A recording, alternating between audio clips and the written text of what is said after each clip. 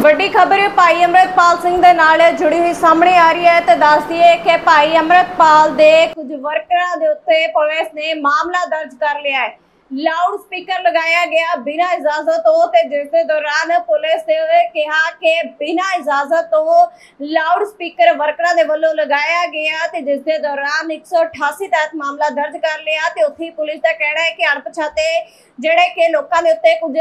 ਵਰਕਰਾਂ ਦੇ ਉੱਤੇ ਜਿਹੜਾ ਕਿ ਪਰਚਾ ਦਰਜ ਕੀਤਾ ਗਿਆ ਤੇ ਜਿਸ ਦੇ ਦੌਰਾਨ ਪੁਲਿਸ ਦੇ ਵੱਲੋਂ ਕਿਹਾ ਗਿਆ ਕਿ ਜਦੋਂ ਵੀ ਪਛਾਣ ਹੁੰਦੀ ਹੈ ਤਾਂ ਕਾਰਵਾਈ ਜ਼ਰੂਰ ਕੀਤੀ ਜਾਵੇਗੀ ਤੇ ਦੱਸ ਦਈਏ ਕਿ ਇਹ ਵੱਡੀ ਖਬਰ ਭਾਈ ਅਮਰਤਪਾਲ ਸਿੰਘ ਦੇ ਸਮਰਥਕਾਂ ਦੇ ਨਾਲ ਜੁੜੀ ਸਾਹਮਣੇ ਆ ਰਹੀ ਹੈ ਤੇ ਉੱਥੇ ਹੀ ਆਜ਼ਾਦ ਚੋਣ ਲੜ ਰਹੇ ਨੇ ਭਾਈ ਅਮਰਤਪਾਲ ਸਿੰਘ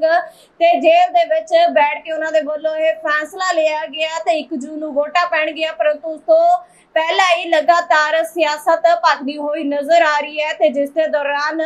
ਹੁਣ ਦੱਸਦੀਏ ਕਿ ਭਾਈ ਅਮਰਤਪਾਲ ਸਿੰਘ ਦੇ ਲਈ ਲਗਾਤਾਰ ਜਿਹੜਾ ਕਿ ਚੋਣ ਪ੍ਰਚਾਰ ਸਿੱਖ ਜਥੇਬੰਦੀਆਂ ਕਰ ਰਹੀਆਂ ਨੇ ਤੇ ਉਹਨਾਂ ਦੇ ਵਕੀਲ ਵੀ ਉਹਨਾਂ ਦੇ ਪੂਰਾ ਸਾਥ ਦੇ ਰਹੇ ਨੇ, ਪਰੰਤੂ ਉੱਥੇ ਹੀ ਜਿਹੜਾ ਕਿ ਖਡੂਰ ਸਾਹਿਬ ਦੀ ਇੱਕ ਹੌਟ ਸੀਟ ਨਹੀਂ, ਸਗੋਂ ਪੰਥਕ ਸੀਟ ਹੈ ਤੇ ਜਿਸ ਤੋਂ ਬਾਅਦ ਵਿਰਸਾ ਸਿੰਘ ਵਲਟੋਹਾ ਜਿਹੜੇ ਕਿ ਸ਼੍ਰੋਮਣੀ ਅਕਾਲੀ ਦਲ ਦੇ ਵੱਲੋਂ ਚੋਣ ਲੜ ਰਹੇ ਨੇ ਤੇ ਦੂਜੇ ਪਾਸੇ ਕਾਂਗਰਸ ਪਾਰਟੀ ਦੇ ਵੱਲੋਂ ਜਿਹੜੇ ਕਿ ਕੁਲਬੀਰ ਜੀਰਾ ਸਿਆਸੀ ਅਖਾੜੇ ਦੇ ਵਿੱਚ ਉਤਾਰੇ ਗਏ ਨੇ। ਆਮ ਆਦਮੀ ਪਾਰਟੀ ਦੇ ਵੱਲੋਂ ਜਿਹੜਾ ਕਿ ਲਾਲਜੀਤ ਭੁੱਲਰ ਨੂੰ ਕੈਂਡੀਡੇਟ ਚੁਣਿਆ ਗਿਆ ਹੈ ਤੇ ਉੱਥੇ ਕਈ ਹੋਰ ਉਮੀਦਵਾਰ ਵੀ ਉਹਨਾਂ ਦੇ ਲਈ ਦੱਸ ਦਈਏ ਕਿ ਲਗਾਤਾਰ ਸਿਆਸੀ ਜਿਹੜੀ ਕਿ ਟੱਕਰ ਦੇ ਰਹੇ ਨੇ ਤੇ ਜਿਸ ਤੋਂ ਬਾਅਦ ਫੈਸਲਾ ਦੇਖਣ ਜੋ ਇਹ ਹੋਵੇਗਾ ਕਿ ਕੌਣ ਐਮਪੀ ਬਣੇਗਾ, ਪਰੰਤੂ ਇਸ ਤੋਂ ਪਹਿਲਾਂ ਹੀ ਹੁਣ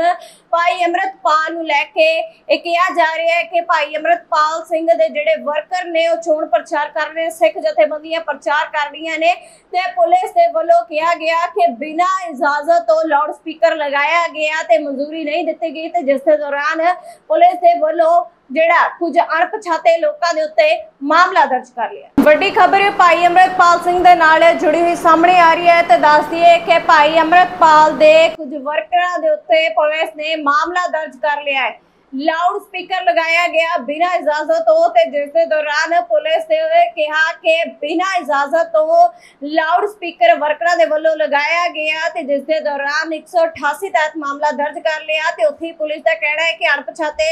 ਜਿਹੜੇ ਕਿ ਲੋਕਾਂ ਦੇ ਉੱਤੇ ਕੁਝ ਵਰਕਰਾਂ ਦੇ ਉੱਤੇ ਜਿਹੜਾ ਕਿ ਪਰਚਾ ਦਰਜ ਕੀਤਾ ਗਿਆ ਤੇ ਜਿਸ ਦੇ ਦੌਰਾਨ ਪੁਲਿਸ ਦੇ ਵੱਲੋਂ ਕਿਹਾ ਗਿਆ ਕਿ ਜਦੋਂ ਵੀ ਪਛਾਣ ਹੁੰਦੀ ਹੈ ਤਾਂ ਕਾਰਵਾਈ ਜ਼ਰੂਰ ਕੀਤੀ ਜਾਵੇਗੀ ਤੇ ਦੱਸ ਦਈਏ ਕਿ ਇਹ ਵੱਡੀ ਖਬਰ ਭਾਈ ਅਮਰਤਪਾਲ ਸਿੰਘ ਦੇ ਸਮਰਥਕਾਂ ਦੇ ਨਾਲ ਜੁੜੀ ਸਾਹਮਣੇ ਆ ਰਹੀ ਹੈ ਤੇ ਉੱਥੇ ਹੀ ਆਜ਼ਾਦ ਚੋਣ ਲੜ ਰਹੇ ਨੇ ਭਾਈ ਅਮਰਤਪਾਲ ਸਿੰਘ। ਤੇ ਜੇਲ੍ਹ ਦੇ ਵਿੱਚ ਬੈਠ ਕੇ ਉਹਨਾਂ ਦੇ ਵੱਲੋਂ ਇਹ ਫੈਸਲਾ ਲਿਆ ਗਿਆ ਤੇ 1 ਜੂਨ ਨੂੰ ਵੋਟਾਂ ਪੈਣਗੀਆਂ, ਪਰੰਤੂ ਉਸ ਤੋਂ ਪਹਿਲਾਂ ਹੀ ਲਗਾਤਾਰ ਸਿਆਸਤ ਭਖਦੀ ਹੋਈ ਨਜ਼ਰ ਆ ਰਹੀ ਹੈ ਤੇ ਜਿਸ ਦੇ ਦੌਰਾਨ ਹੁਣ ਦੱਸਦੀਏ ਕਿ ਭਾਈ ਅਮਰਤਪਾਲ ਸਿੰਘ ਦੇ ਲਈ ਲਗਾਤਾਰ ਜਿਹੜਾ ਕਿ ਚੋਣ ਪ੍ਰਚਾਰ ਸਿੱਖ ਜਥੇਬੰਦੀਆਂ ਕਰ ਰਹੀਆਂ ਨੇ ਤੇ ਉਹਨਾਂ ਦੇ ਵਕੀਲ ਵੀ ਉਹਨਾਂ ਦੇ ਪੂਰਾ ਸਾਥ ਦੇ ਰਹੇ ਨੇ, ਪਰੰਤੂ ਉੱਥੇ ਹੀ ਜਿਹੜਾ ਕਿ ਖਡੂਰ ਸਾਹਿਬ ਦੀ ਇੱਕ ਹੌਟ ਸੀਟ ਨਹੀਂ, ਸਗੋਂ ਪੰਥਕ ਸੀਟ ਹੈ ਤੇ ਜਿਸ ਤੋਂ ਬਾਅਦ ਵਿਰਸਾ ਸਿੰਘ ਵਲਟੋਹਾ ਜਿਹੜੇ ਕਿ ਸ਼੍ਰੋਮਣੀ ਅਕਾਲੀ ਦਲ ਦੇ ਵੱਲੋਂ ਚੋਣ ਲੜ ਰਹੇ ਨੇ ਤੇ ਦੂਜੇ ਪਾਸੇ ਕਾਂਗਰਸ ਪਾਰਟੀ ਦੇ ਵੱਲੋਂ ਜਿਹੜੇ ਕਿ ਕੁਲਬੀਰ ਜੀਰਾ ਸਿਆਸੀ ਅਖਾੜੇ ਦੇ ਵਿੱਚ ਉਤਾਰੇ ਗਏ ਨੇ। ਆਮ ਆਦਮੀ ਪਾਰਟੀ ਦੇ ਵੱਲੋਂ ਜਿਹੜਾ ਕਿ ਲਾਲਜੀਤ ਭੁੱਲਰ ਨੂੰ ਕੈਂਡੀਡੇਟ ਚੁਣਿਆ ਗਿਆ ਹੈ ਤੇ ਉੱਥੇ ਕਈ ਹੋਰ ਉਮੀਦਵਾਰ ਵੀ ਉਹਨਾਂ ਦੇ ਲਈ ਦੱਸ ਦਈਏ ਕਿ ਲਗਾਤਾਰ ਸਿਆਸੀ ਜਿਹੜੀ ਕਿ ਟੱਕਰ ਦੇ ਰਹੇ ਨੇ ਤੇ ਜਿਸ ਤੋਂ ਬਾਅਦ ਫੈਸਲਾ ਦੇਖਣ ਜੋ ਇਹ ਹੋਵੇਗਾ ਕਿ ਕੌਣ ਐਮਪੀ ਬਣੇਗਾ, ਪਰੰਤੂ ਇਸ ਤੋਂ ਪਹਿਲਾਂ ਹੀ ਹੁਣ